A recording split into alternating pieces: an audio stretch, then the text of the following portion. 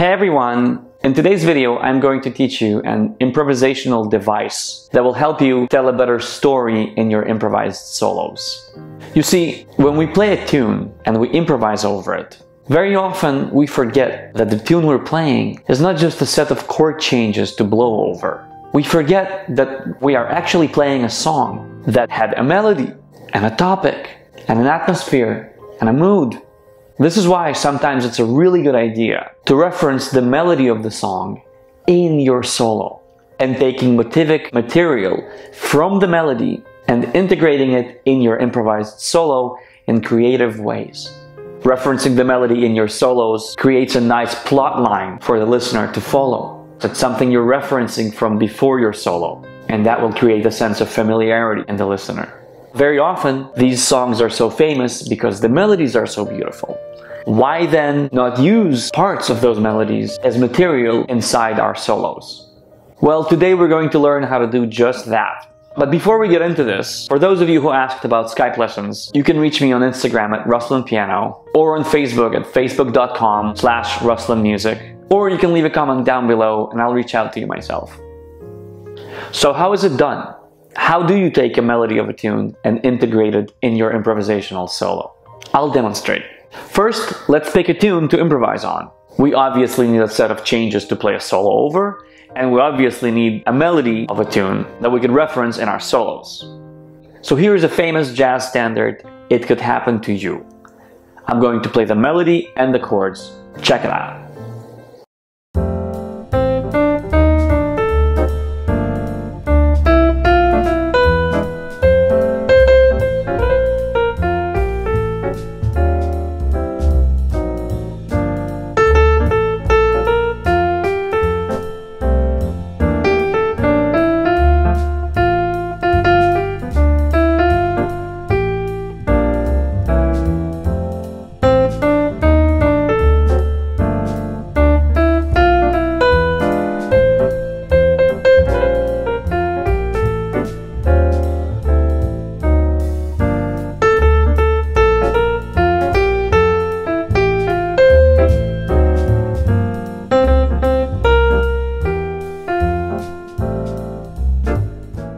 So let's see, what parts of this melody could we pick and use in our solo?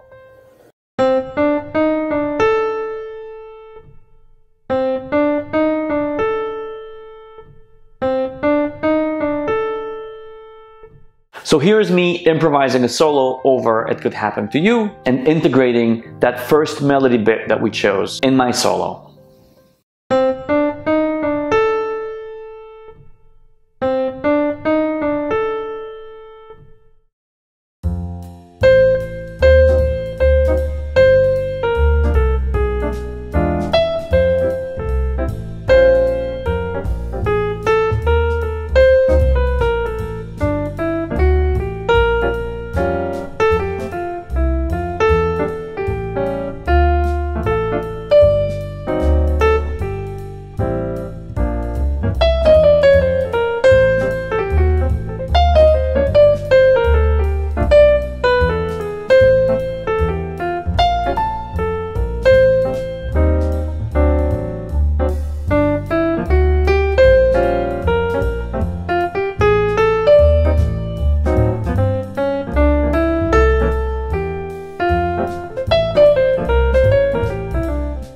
So do you see what I'm doing?